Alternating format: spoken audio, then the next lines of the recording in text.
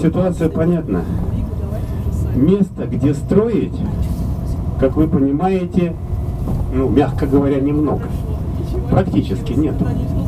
Копают котлован, добираются до скального основания, заливают бетоном, либо ставят столбчатые фундаменты, либо ленточные, но уже на скальное основание. А потом ставят дома. Все дома, которые сохранены, они все стоят на скальном основании. Все дома, которые здесь исчезли, они так или иначе были убиты вечной мерзлотой. А где же люди-то жили? Вот в этом самом условиях. Для понимания процесса хочу вам рассказать так. Значит, в 30-е годы на 9 заключенных один вольный. В 40-е на 8 заключенных 2 вольных. В 50-е на 7 заключенных 3 вольных. Поскольку речь шла о 30, 40 и даже 50 тысячах населения в то время, то мы говорим о том, что у нас были тысячи вольных жителей. Бараки.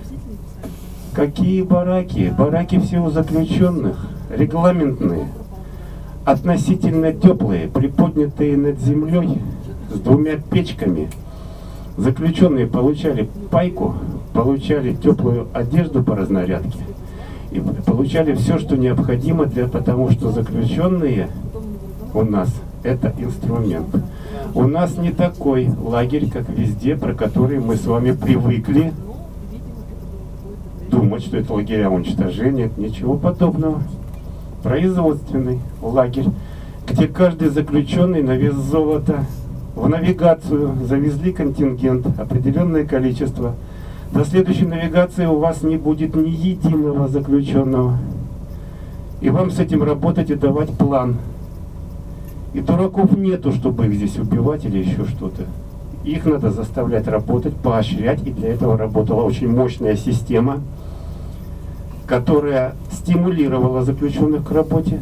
Была зарплата, было так называемое расконвоирование, была культурно-воспитательная часть, которая показывала по субботам за хорошую работу кино и много-много чего еще. Но если саботаж, плохая работа и так далее, то, конечно же, да, штрафной изолятор, колоргон и все такое прочее. Колоргон так назывался, штрафной изолятор. А сейчас мы с вами находимся на месте, в котором было совершено должностное преступление. Хочу выгнать вас опять, ну, или, или, или посидите, или что? Вот, как... Посидим. Не, ну когда мне это зимой говорят, ну я понимаю. А когда это... Ладно, ладно, давайте посидим. До определенного момента. А дальше вы должны будете прочувствовать, и мы выйдем. Ну я вот... Итак, смотрите, что происходит. В 1938 году на риск приезжает очередным директором комбината Абраамий Павлович Завинякин. Предыдущего директора комбината Матвеева Владимира Зосимовича посадили. Посадили как не справившегося со своими обязанностями. Это была самая большая несправедливость нашей истории, потому что он-то здесь все и сделал. Узкоколейку построил он, зоны создал он, первый опытный завод поставил он, все, что только можно было подготовить, он подготовил, не имея для этого, в общем-то, никакого вектора, потому что ему никто не сказал, какова конечная цель всего этого. И тогда Завинягин, получив назначение, прежде чем ехать в Норильск, добивается аудиенции у Сталина. Приходит и говорит, Иосиф Виссарионович, задачу надо ставить. А мне ни один министр задачу поставить не может боиться. Мы что делаем? Мы вот здесь делаем полуфабрикаты, отправляем на материк. Или же мы здесь делаем заводы полного цикла, и тогда здесь не вахтовый поселок, а полноценный город. И тогда Сталин ему говорит дословно, будем строить промышленный комбинат полного цикла и город комфортного проживания лучше, чем столица Аляски, город Ном. Это цитата. Получив такие указания, Авраам Павлович отправляется в Норильск. И для того, чтобы, строить город комфортного проживания, он выписывает из Ленинграда семейную пару архитектора молодого, 27 лет. Ну, сейчас молодого, по тем временам уже зрелого, там, по-другому, да, люди взрослели. Архитектора Витольда Непокайчицкого и его жену, тоже архитектора, Лидию Владимировну Миненко. Эта семейная пара приезжает сюда для того, чтобы строить Норильск. Красивый, комфортный, архитектурный город. До какой степени, вот мы с вами все время думаем, сталинские репрессии, такое жуткое время, когда такое нагнетение было туда-сюда. Я читаю автобиографию Непокачинского и не одну. И везде он пишет, я Витольд Непокачинский, запятая, дворянин, запятая, и дальше по тексту. Это что? Это как? А то, что он для того, чтобы потребовал, у него уже требования были, рейдер, как сейчас говорят, забронировать квартиру в Ленинграде, дать зарплату в 2000 рублей, у директора комбината 2200, предоставить квартиру здесь и тому подобные требования.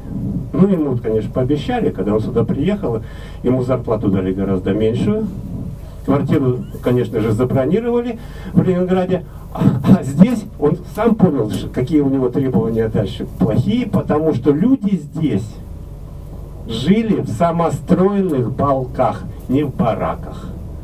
В бараках счастья. В балках. Знаете, что такое? Это такие хижины, которые делаются из любого подручного материала. Вот так вот две стеночки на 25 сантиметров друг от друга. Внутренность заполняем. Вот все, что нашли. Грязь, шлак, трава, э, опилки. Это для тепла. 2 на 3 метра периметр, сверху крыша, внутри печка. И в таком вот полке мы с вами живем сколько? Нас человек?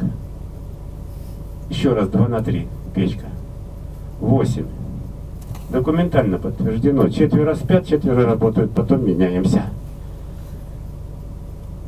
А потом какая-то семейная пара, там это еще с детишками, на секундочку, образовалась. Им тоже жить негде. Они к нам пристроились, чтобы теплее было, чтобы лишнюю стенку не ставить. И таким образом вот здесь у нас возникает поселок. Называется индивидуальный.